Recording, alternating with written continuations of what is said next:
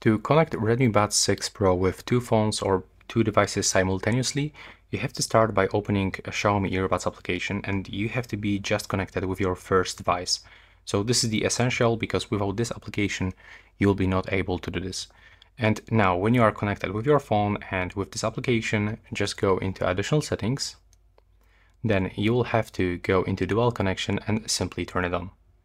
Now the next step is also quite simple. You will have to input both earbuds inside the case, open cover, and you have to click and hold this button.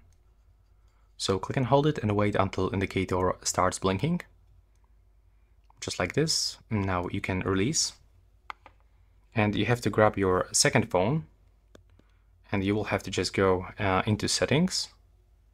Then you will have to go into Bluetooth and click to pair new device. And from available devices list, you will have to select Redmi Buds 6 Pro.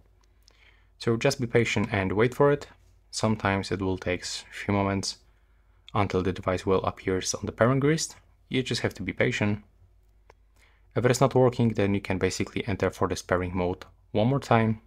Okay, so as you can see, I have to enter for the pairing mode one more time because my device doesn't detect the Redmi Buds 6 Pro, but as you can see right now, after I just enter the pairing mode one more time, I can simply connect them. I have to accept this pairing request. And take a look, right now I'm connected. And if I'm gonna go back from this one, I will have to go into my Bluetooth list.